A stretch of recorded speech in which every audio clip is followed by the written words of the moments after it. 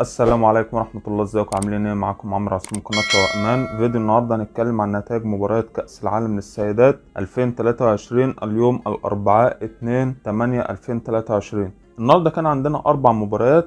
عندنا أول مباراة كانت ما بين منتخب الأرجنتين ومنتخب السويد. منتخب السويد فاز بهدفين دون رد وعندنا تاني مباراة كانت ما بين منتخب جنوب أفريقيا ومنتخب إيطاليا. منتخب جنوب أفريقيا فاز بثلاث أهداف لهدفين. عندنا تالت مباراة كانت ما بين منتخب جامايكا ومنتخب البرازيل. المباراة انتهت بالتعادل السلبي 0 0 عندنا رابع مباراة كانت ما بين منتخب بنما ومنتخب فرنسا. منتخب فرنسا فاز بنتيجة 6 3 ندخل بقى على ترتيب المجموعات. عندنا المجموعة الأولى منتخب سويسرا بيتصدر المجموعة بخمس نقاط. والمركز الثاني منتخب النرويج بأربع نقاط والمركز الثالث منتخب نيوزيلندا بأربع نقاط. طبعا النرويج ونيوزيلندا الاتنين متساويين في عدد النقاط لكن فرق الأهداف آه لصالح منتخب النرويج. عندنا المركز الرابع منتخب الفلبين بثلاث نقاط. بكده منتخب سويسرا ومنتخب النرويج بيتأهلوا رسميا إلى دور ال 16 عندنا المجموعة الثانية منتخب أستراليا بتصدر المجموعة بست نقاط والمركز الثاني منتخب نيجيريا بخمس نقاط.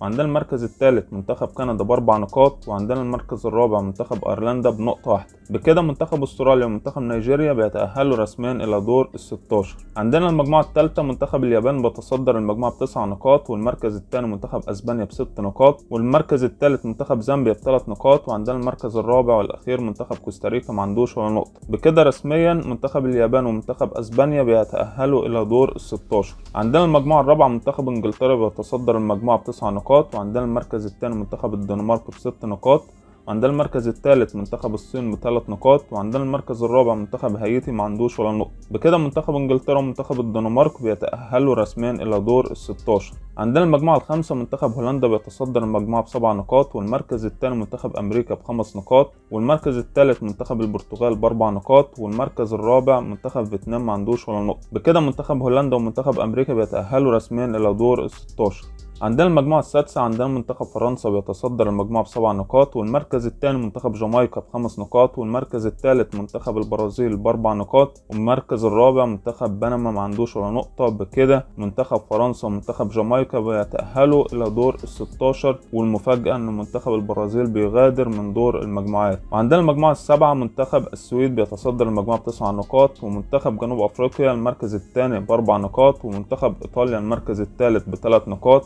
ومنتخب الأرجنتين المركز الرابع بنقطة واحدة بكده منتخب السويد ومنتخب جنوب أفريقيا بيتأهلوا رسميا إلى دور ال 16 والمفاجأة برضه إن منتخب الأرجنتين ومنتخب إيطاليا ودعوا البطولة من دور المجموعات.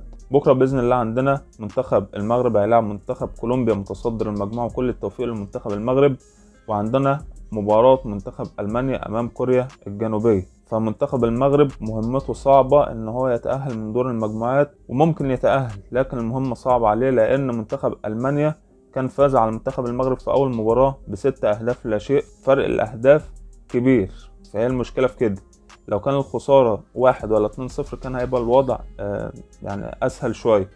آه لكن منتخب المغرب إذا فاز يعني يتأهل بنسبة كبيرة في حالة خسارة منتخب ألمانيا أو تعادل منتخب ألمانيا.